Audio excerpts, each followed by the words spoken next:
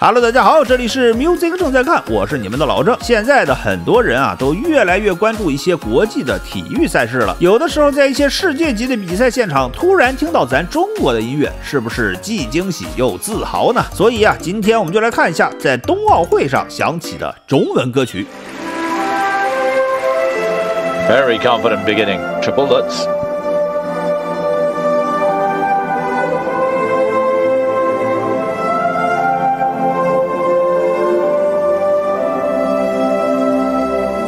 二零一四年的索契冬奥会女子花样滑冰比赛中，澳大利亚选手布洛克里韩在参加自由滑比赛时所选用的音乐，就是周董自编自导的电影《不能说的秘密》里面原声带配乐。歌曲在当时还拿下了台湾电影金马奖最佳电影原创音乐奖。而这次澳大利亚选手的选曲啊，不仅让所有中国观众眼前一亮，也让周董回忆这个滑冰的一个女生这样，然后是。澳洲人用我的那个《Secret》里面的电影的曲子，我自己听，我听到我觉得很感动。其实我自己也觉得很 surprise，我自己也觉得很惊讶，就是希望我的音乐可以带给他幸运。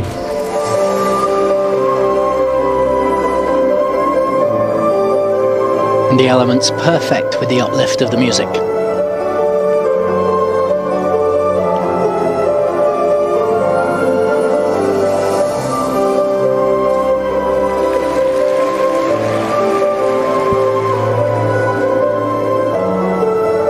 Miss at the moment. Triple loop. Double, double axle. 喜欢花样滑冰的小伙伴可能对王诗玥和柳鑫宇这对活宝组合并不陌生。作为中国花滑界最受关注也是最优秀的组合，前段时间啊，因为在世界花样滑冰大奖赛中表演的一剪梅，直接让他们火出了圈。整场表演最难的地方大概就是憋笑了。两个人把冰场变成了广场，哎，不仅是公费蹦迪，还展现了一下国家队的广场舞实力，连解说都忍不住笑了。说王诗玥、柳鑫宇不愧是你们。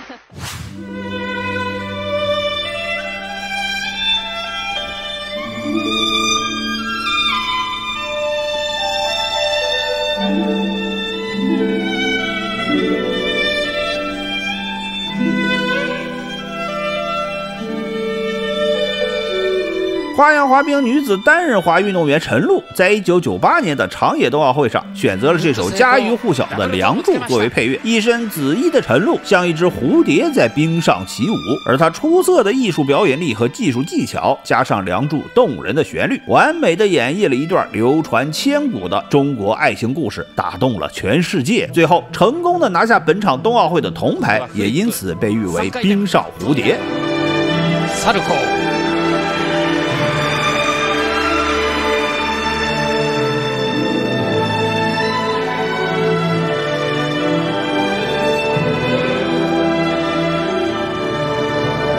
把体育和音乐用这种方式结合起来，不仅能让世界的人听到中国的音。